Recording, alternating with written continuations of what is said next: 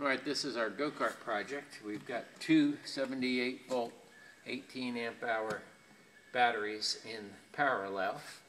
We got our three-phase BLDC uh, motor controller, and there's our motor, a five kilowatt uh, AC motor.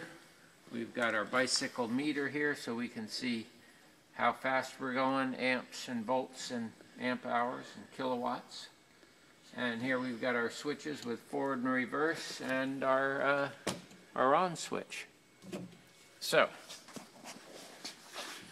let's see how it goes.